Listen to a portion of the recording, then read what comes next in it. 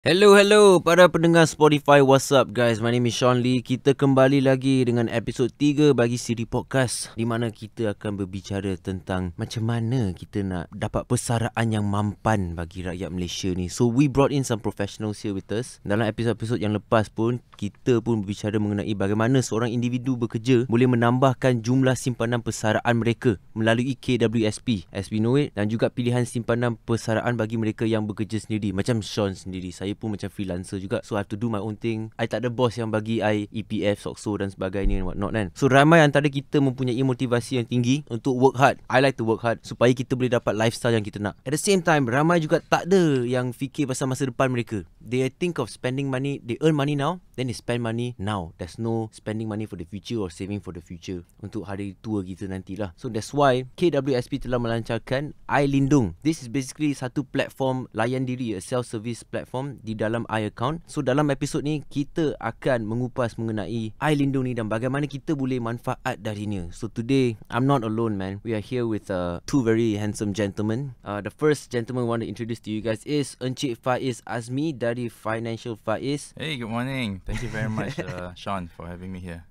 And the next gentleman that we have today here, seorang pegawai RAS KWSP, the Retirement Advisory Service. Selamat datang Encik Arafa, apa khabar? Hi Sean, morning. Hi Cik Faiz. Hi. Okay, Encik Faiz, uh, untuk pendengar kat luar sana, I know you're pretty famous guy on social media as well, but maybe some of these guys may not know who you are. Would you like to introduce yourself a little bit? I am Financial Faiz ataupun Faiz Azmi lah dari Financial Faiz. Very nice to be here. Amat gembira sebab ada rakan seperjuangan ya Cik. daripada EPF Encik Arafah ya. I kata rakan seperjuangan ni sebab I sokong lah apa yang EPF ni buat. Sebelum thank you, thank kita you. start uh, apa-apa pun kita let's jom. Let's jom. Ya. Yeah. Okay baik thank you Encik Faiz. Encik Arafah is your turn lah. Jangan ingat senang je buat kerja kat sini eh. Boleh tak kenalkan diri sendiri pada orang-orang kat luar sana. Good morning everyone. Okay saya Arafah Ishak. Okay basically kalau dekat EPF kita ni kategori saya ni kita panggil sebagai RAS lah ataupun Retirement Advisory Officer dekat sana. Pagi ni saya amat teruja juga sebab kita dapat bersama dengan Sean mm. dan dapat bersama dengan seorang yang kita boleh panggil sebagai yang berpengaruh lah dalam industri perkewangan dekat Malaysia ni dengan media sosial yang bagus. Okay, so kita akan sebut tentang iLindung hari ni. Betul ke iLindung ni sebenarnya produk yang baru daripada KWSP ataupun ianya cuma satu platform yang diperkenalkan oleh KWSP untuk memudahkan ahli-ahli untuk dapatkan sesuatu yang saya boleh kata sangat bermanfaat untuk diorang.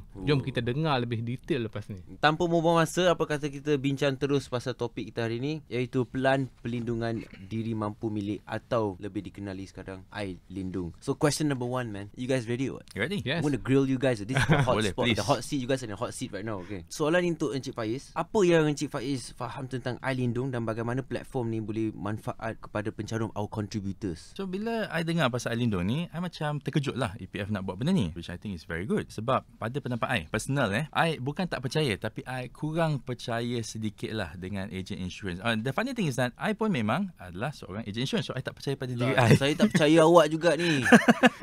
Sebab apa? I takut. I tak buat kerja. Yelah, sekarang ni I insurance hmm. agent.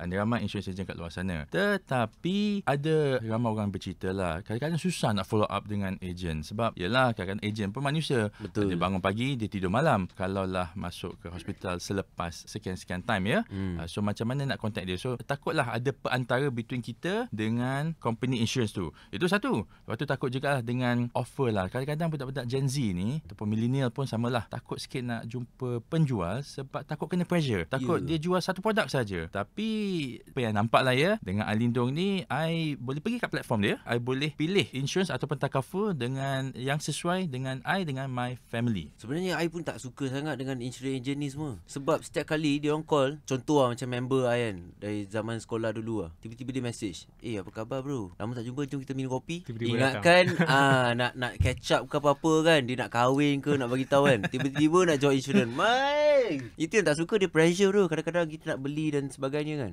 So basically i have to agree dengan apa yang disampaikan oleh Cik Faiz tadi. Dan apa yang point yang cuba Sean sampaikan lah. Basically ahli ataupun masyarakat ni kena faham. Ailindung ni sebenarnya bukanlah satu produk ataupun baby daripada EPF Ailindung ni cuma kita boleh katakan dia satu platform layan diri yang disediakan di dalam kita punya i account. Dan Ailindung ni basically ia satu produk insurans, kita kata dia dah customize khusus untuk ahli-ahli KWSP. Di mana premium juga kita bayar setahun sekali. Dia potong untuk setahun terus. Dia berbeza dengan produk insurans yang sedia ada di mana bayar premium kebanyakannya sebulan sekali. Dan ini ditolak daripada akaun 2, ahli boleh memilih perlindungan dia kena renew untuk phase pertama ni eh, kena renew setahun sekali untuk phase hmm. pertama ni. Idea iLindung ni sebenarnya kita macam nak eliminate agent. Uh, sorry agent. tak apa, tak apa. It's okay. Sorry to all okay. agents out there man. You guys got no jobs after this.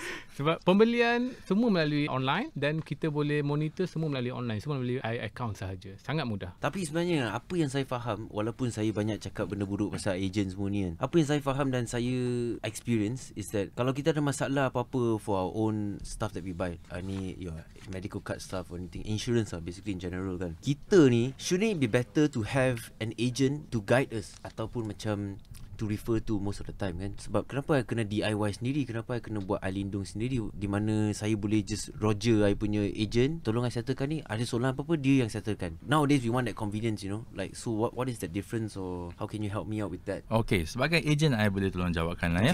Okay. ada orang kata ni agent yang suka criticize diri sendiri lah. Ada kata oh dia dia kerja lain boleh dia buat. Tapi itu yang I nampak lah. Kalau kita tengok sekarang ya kita semua ada Astro ada Celcom ada Unify. Betul. so if there's any issues kita boleh contact the customer service sendiri. And bukan tak ada ya, orang kat luar sana dia ada agent. Okay. Tapi agent dia tidur ataupun tidur dari segi tak aktif. Sebab hmm. kadang-kadang agent ni they are recruited as a part timer. Betul, patutnya hmm. tak boleh tapi that's how it is lah. Dia ada kerja engineer. Tetapi okay. ada orang tunjukkan dia kemewahan, eh jadilah insurance agent. So dia pun jadi as a part time. Tetapi dia fokus still dengan kerja hakiki dia. So jadinya bila kadang-kadang client ni call dia pukul 11 pagi, orang tu tengah meeting dekat site, mana nak angkat telefon? So apa klien buat? Dia akan contact terus the insurance ataupun cover company. Dari segi itu, konsep dia similar to kalau you ada masalah dengan you punya current services macam saya kata Astro, Celcom, Unify ke, you hmm. contact terus dengan you punya service provider, the actual service provider tu. And nak kena fahamkan ya, agent ni bukan employed by the companies. No, they are agent. The contract dia memang an agent contract, bukan employment contract. So, ada juga orang yang kena buang eh selepas sales tak tak achieve target. Ha, so dekat ah. situ bahaya jugalah. So dari sini awal-awal lagi dah bagi tahu you beli Alindong ni memang melalui platform ni. Tetapi you beli ni daripada produk dia adalah produk Takaful dan insurance company tu sendiri. Betul eh? Ya yeah, betul that's ha. the idea lah. Basically just to understand for me because I'm still a noob in all this tengah belajar lagi nak pasal ni semua kan. Basically what Alindong trying to do right now is that to encourage all the pencarum to go direct to them instead yeah. of the agent. Sebab agent-agent tu semua adalah salesman sahaja. In that sense yeah, lah salesman tapi patutnya ada after sales macam Sean cakap tadi. They have to follow up the servicing Patut sepatutnya right? that's the best thing tetapi hmm. ada banyak orang kat luar sana lepas dah beli turns out agent dia kena terminate ada hmm. agent dia fokus on sales saja tak ada after sales so dekat situlah pembeli ni ada option lah nak hmm. pergi direct terus tapi kan I nak tanya lah kalau macam ini eh kita duk cakap-cakap beli beli beli apakah perlindungan yang ditawarkan dalam Alindong ni ah, mana tahu kalau hari ni juga I nak beli ke dah dah boleh beli sekarang ke untuk menjawab soalan ni dalam Alindong ni buat masa ni di fasa pertama ni Alindong ni kita boleh katakan baru lagi sebab dia baru dilancarkan. Okay. Kita masih di fasa pertama. Hanya ada dua produk yang ditawarkan dalam ni iaitu perlindungan nyawa ataupun kita panggil sebagai insurans nyawa ataupun penyakit kritikal. So basically dua produk ni saja ataupun dua kategori ni saja untuk fasa pertama ni dan ahli boleh manfaatkan dulu. Kita cuba dulu tengok dua kategori ni dulu. Okay sebab basically dekat hmm. insurans dekat luar ataupun dalam insurans punya industri ni kita ada empat jenis lah yang biasa kita dengar. Betul. Insurans nyawa, insurans penyakit kritikal, yep. general insurance ataupun medical insurance. So betul, kita betul. perkenalkan dua dulu and then time by time kita akan buat penambahbaikan. I like it how you guys are not just like sekaligus buka semua and then service tak cun. You know, right? yeah, slow yeah. slow introduce make sure service on tip top and stuff like that. So contoh ah, sekarang ni you guys convince me already saya tak nak beli daripada agent dah. Aku nak beli sendiri sekarang. Dengan kawan-kawan saya kat luar pun sekali kita nak beli sendiri. Kalau kita nak beli perlindungan iLindung ni, apa yang kita kena buat? Do we have to do like full body check up hmm. sendiri then hmm. kita hantarkan report ke apa-apa? Oh, ini ada documents yang kita perlukan untuk register dan beli ke macam mana?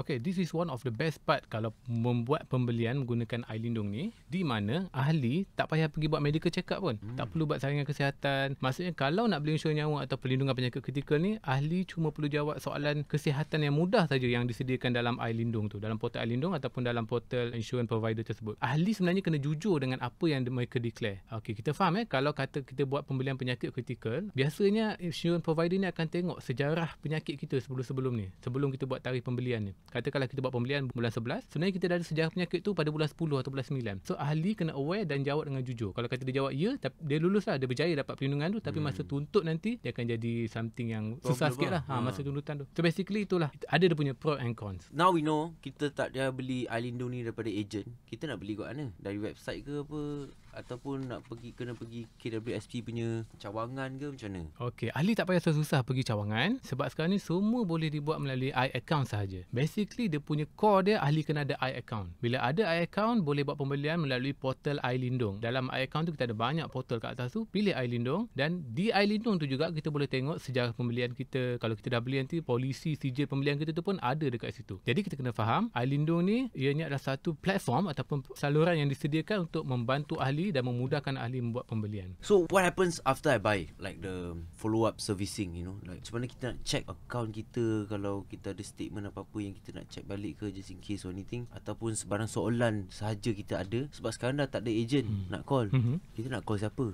Okey, ini soalan yang sangat baik sebenarnya Sean. Kalau ahli beli, ahli kena tahu apa yang dia orang dapat selepas pembelian tu. Menggunakan iLindung ni basically ahli kita EPF cuma menyediakan platform untuk pembelian sehingga kelulusan sahaja. Kena faham eh, iLindung menyediakan platform untuk pembelian sehingga kelulusan sahaja. Saya ulanglah sebab ini poin penting. Tapi untuk urusan selepas pembelian macam tuntutan atau penamaan atau hibah atau pembatalan, ahli yang membuat pembelian ni boleh pergi direct kepada syarikat insurans yang mereka beli. Katakanlah dalam portal kita kita ada kita ambil contoh FWD lah. Kalau dah buat pembelian, okey, mereka boleh pergi direct ke FWD untuk buat penamaan ataupun nak buat tuntutan nanti buat di FWD. Tak perlu datang ke kaunter KWSP untuk buat tuntutan sebab basically kita akan bagi satu list lah, satu list uh, hotline untuk mereka berhubung dengan pihak insurans tu. korang ada tak macam video tutorial ke untuk ajar orang macam mana nak pergi sini Ada. sana Ha, semua panduan tu semua dalam website rasmi KWSP. ada eh Ada. ah, senang lah macam tu Mhm. Tapi sebenarnya kan Sean Kalau tadi kita ambil contoh FWD Memang FWD dah ada produk-produk online pun sebenarnya Tetapi KBSP ni kira macam supplement Dia punya marketing efforts lah Supaya Yelah kadang-kadang Duit cash ni tak ada. Betul, Tetapi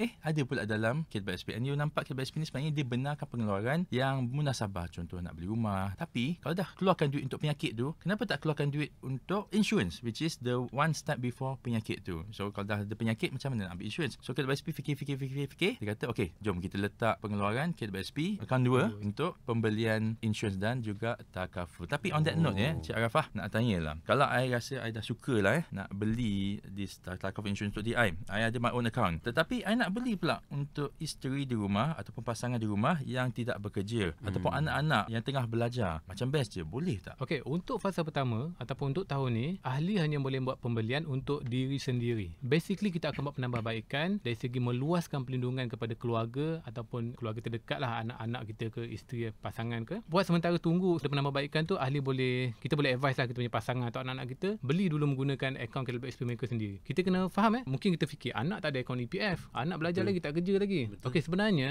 akaun EPF ni boleh dibuka seawal umur 14 tahun. Kalau kata anak masih belajar, boleh bukakan akaun dia orang 14 tahun, 14 tahun buka akaun EPF, ibu bapa boleh simpan duit dalam tu. Boleh buat simpanan sekolah, kita panggil simpanan sekolah. Akaun EPF anak boleh bertambah, bila dah cukup untuk cover premium untuk pembelian air lindung tu, anak boleh beli sendiri. Maksudnya ibu bapa tolong masukkan duit dulu. Yes, simpan sendiri dulu. Tak perlu majikan. Sebab EPF kita ada juga simpanan sekolah di mana kita boleh simpan. Kalau ada extra cash, kita boleh simpan sendiri. Kita boleh simpan untuk anak, kita boleh simpan untuk pasangan kita. Kalau duit raya budak-budak pun boleh juga Boleh juga. Itu sangat bagus sebenarnya. Ah, actually Ah. bagus kan dapat duit raya. For me angpau Ah, dapat terus masuk. kat ni. Masuk terus. Ah betul Ah. betul betul. Ah, betul? Kalau macam tu kan Sebagai ibu Ataupun bapa Tak boleh nak Ambil lah this product Untuk orang yang tak di KFSP Okey tak apa Nanti dia orang dah ada nanti Dia buka lah sendiri Dia ambil lah sendiri ya hmm. Tapi soalan yang I nak follow up ni ya Nak tanya lah Cakap pasal Buka akaun KWSP Cakap pasal Letak duit dalam KWSP Macam Arafah cakap tadi kan Ada yang bertanya kat luar sana Kenapa KWSP ni Tak benarkan Kita Kita pencarum untuk yalah dah carum nak keluarkan duit itu sendiri untuk Hmm. pengeluaran kegunaan sendiri. Kadang-kadang ada orang kat luar tu susah kan. Betul. Ah, betul. Okey, untuk menjawab persoalan ni, sebenarnya soalan ni banyak kita dapat dekat kaunter-kaunter di KWSP lah sebab ahli datang dan ahli berkata, ahli cakap macam ni eh. Ni duit kami. Kami bekerja setiap bulan kenapa tak boleh keluar? Jadi untuk menjawab soalan ni untuk menjelaskan ni kita kena berbalik kepada mandat penumbuhan KWSP itu sendiri. Kita kena faham eh penumbuhan KWSP ni adalah untuk kita punya retirement saving. Okey, simpanan persaraan kita di mana maksudnya kita simpan duit sekarang tujuannya untuk kegunaan kita selepas kita pension nanti. Sekarang ni kalau kita tengok statistik pun 81% ahli KWSP ni dia punya simpanan kurang daripada 1000 dalam duit KWSP mereka. Satu ribu. Ui, tak ada. 1000. Sikit Sebab je. Bawah. ini adalah impact daripada pengeluaran-pengeluaran khas sebelum ni. So maksudnya dalam banyak-banyak tahun tu dia bekerja semua dia asyik keluarkan Yes, duit. betul. Bila dah besar nanti Betul. baru ada seribu ringgit je dalam Yes. tu. Katakanlah dah umur 60. Hmm. Kita dah penat kerja daripada umur 18 tahun lepas Hmm. SPM kerja terus kan. Sampai umur 60. Dah kerja-kerja-kerja and then kita keluar keluar keluar. Tiba-tiba dah umur 60 kita dapat mungkin dah duit kita ada tapi kita boleh tahan dalam 3 ke 5 tahun saja. So after that apa yang jadi? Dia orang terpaksa kerja balik. Sebab tu kita banyak lihat sekarang ni warga-warga emas banyak bekerja sebagai Grab pegawai keselamatan. Saya tidak merendahkan pekerjaan mereka ni tapi actually kalau dah lepas semua persaraan tu dia orang kena berehat lah actually. Memang lah patutnya dia nama nama pun bersara. Ya betul. Bukan bersara sekarang dan kerja balik. ah dia jadi lain lah.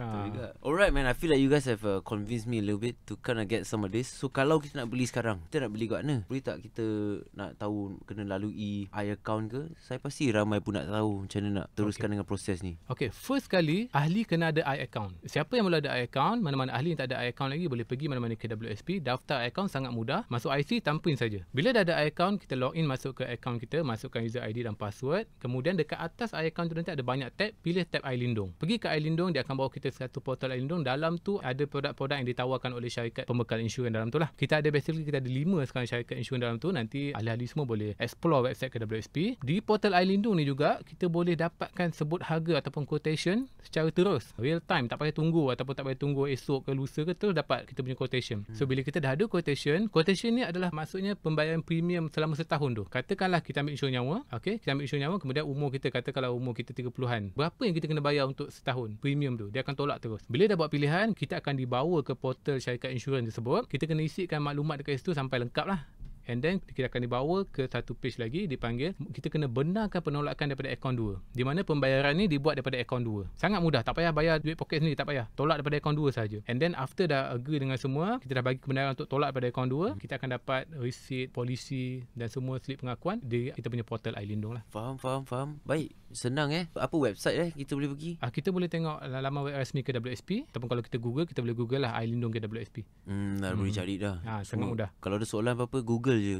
Ah, Senang. Google. Tapi memang tak- banyak pengeluaran keluar daripada akaun dua eh. Betul. Banyak jenis pengeluaran daripada akaun 2. Akaun 2 ni sebenarnya satu akaun kita khususkan untuk pra-persaraan, sebelum persaraan. Perasaan. Dan ianya lebih fokus kepada memenuhi keperluan asas. Macam pengeluaran rumah. Ailindo ni salah satu lah. Hmm. Kita kategorikan medical expenses ni keperluan asas. Tapi yang tadi tu yang bawah RM1,000 tu yang tadi Encik Arafah cakap hmm. tu termasuk akaun satu dan akaun dua lah. Ya, ini adalah impact daripada pengeluaran khas yang kita dah banyak buat sebelum ni masa zaman pandemik. Ha, so Oh. impact dia sebenarnya sangat besar kepada ahli. Kita tak nampak sekarang, kita akan nampak bila orang pension nanti. Speaking about that, my knowledge is kadang-kadang kita beli insurance ke apa-apa kan. We also look at it as a form of like investment, right? So soalan saya, dengan iLindung ni, ada ke investment return so to say yang kita dapat or manfaat dari segi bayarannya yang kita boleh dapat kalau kita tak ada tuntutan di sepanjang tempoh polisi tu ataupun sijil yang kita ada? Produk yang di customize atau dikhususkan di bawah iLindung ni sebenarnya dia khusus kepada perlindungan. Sebab tu dia punya premium kita boleh dapat lagi rendah daripada apa yang ditawarkan oleh syarikat-syarikat insurans secara pembelian terus dengan ejen ataupun syarikat insurans. Jadi tujuan utama dia adalah untuk perlindungan dan tiada cash value ataupun cashback value lah.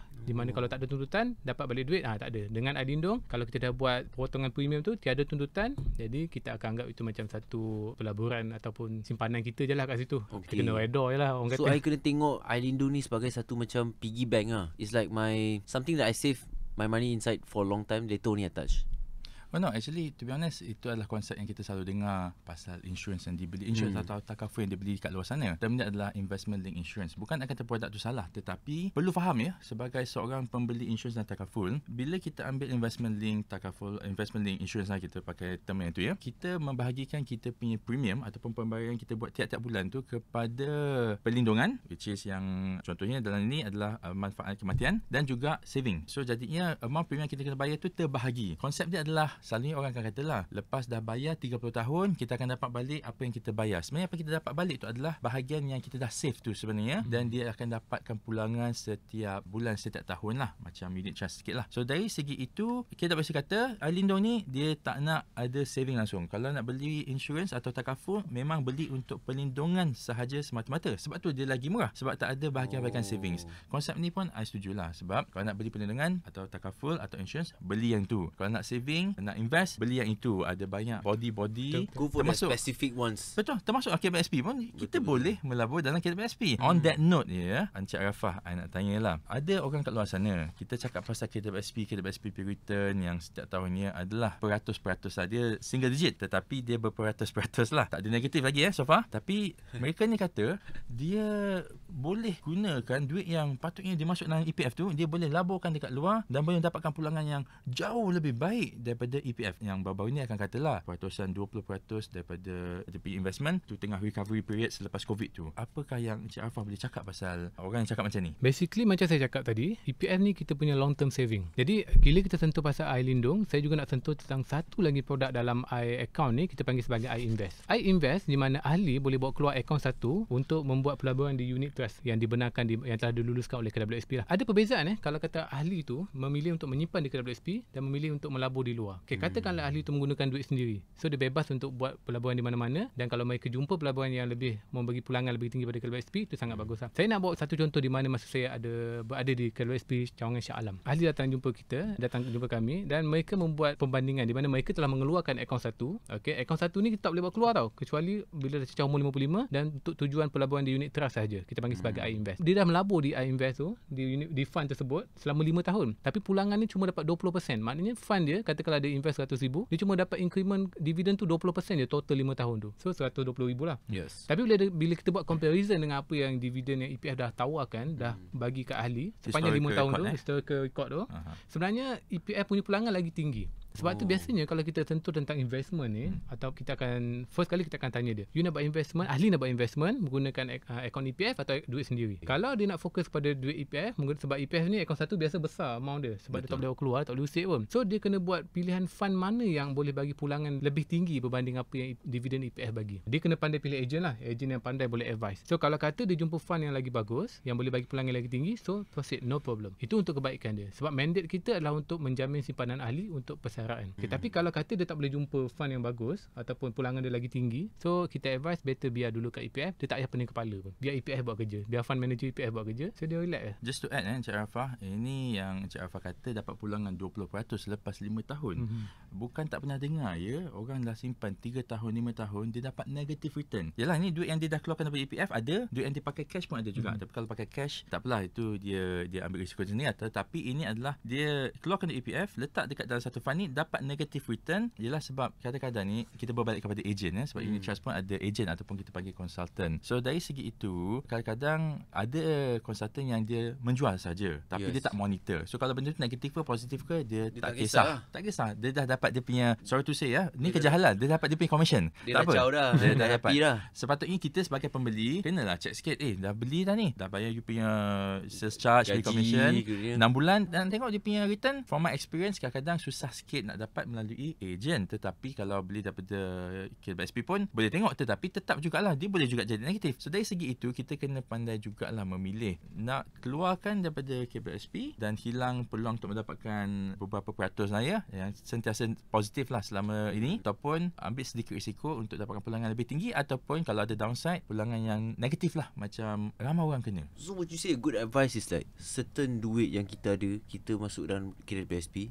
for future retirement. Kalau kita ada duit lebih we should go and find some other investments also or like you know. Kalau nak cakap pasal certain duit yang lebih tu sebenarnya tak payah cakap lah sebab kalau dah kerja memang dah ada potongan dan cawangan daripada employer. Betul. Kalau ada duit lebih, ah, yang itu kita kena decide sendiri sama nak jadi agent yang boleh tolong dapatkan pulangan, dia ada historical record dia. Dia tunjuk ah ni ni portfolio klien-klien saya. Ah Hmm. tengok juga ataupun nak buat sendiri boleh melalui uh, I invest eh. I invest. Daripada I invest. So maksudnya saya boleh contoh lah because if let's say you are a person who is employee in a company Hmm. Mhm. company dah tolakkan untuk kau Mhm. EPF Mhm. so, so what not kan macam ni freelancer Mhm. I kena masukkan duit sendiri for my KWSP Okay. kalau saya nak masuk lebih boleh Actually EPF memang menggalakkan ahli untuk menyimpan lebih di KLBSP. Kita Okey. ada juga produk yang kalau boleh saya sentuh sikit lah. Kita ada produk Charma Scaler, self contribution. Di mana kita ahli kalau ada duit extra, dia boleh simpan macam simpan dekat bank. Tapi kena Hmm, faham lah EPF ni simpanan paksa rela. Dah simpan tak boleh bawa keluar.